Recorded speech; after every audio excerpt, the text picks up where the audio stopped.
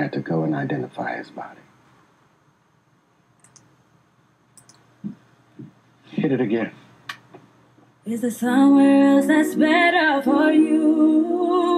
What is love? If you're not here with me, what is love? If it's not guaranteed, what is love?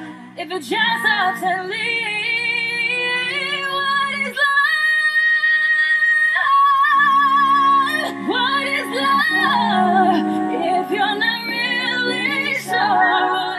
I've been a fan of yours for a while. It's good to see you on a TV series, and you, and you kind of start off the show.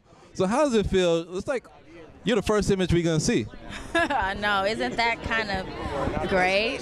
Yeah, it is very special. I'm honored to um, even be a part of this great cast, and you know, Lee Daniels and Danny Strong. Those are like real heavy hitters, power hitters, and I'm just thankful to be in this situation and a part of this legacy we call Empire, because this is gonna be a legacy. Trust.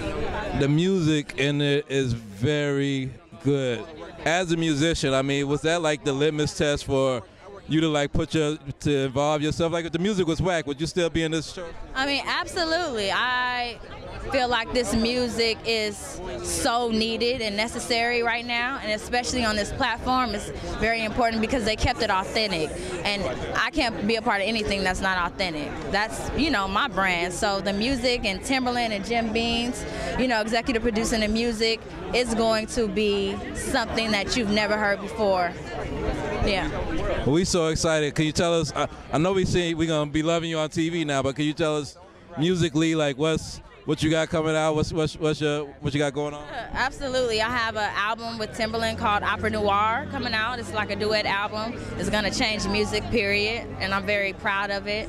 And um, I also have my album coming out called Music is My Boyfriend soon after on Epic Records. Shout out to Sylvia Rhone, you know, L.A. Reid. And um, they're really uh, such a supportive um, team I have around me. And it's going to be a big year, you know, period, for Wow. L.A. Reid. I mean, this is this is this is a great year. How, how how does it feel to like have all that stuff? Does it, does it ever get overwhelming? Like, how do you like step back and, and able to enjoy this ride you're on?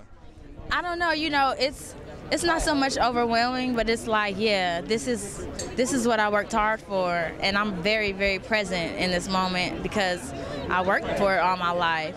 And I'm like, this is what it's supposed to be. And I'm, you know. Well, we well we we've been fans. We're gonna be a fans. Great to see you. And I appreciate that. Thank you.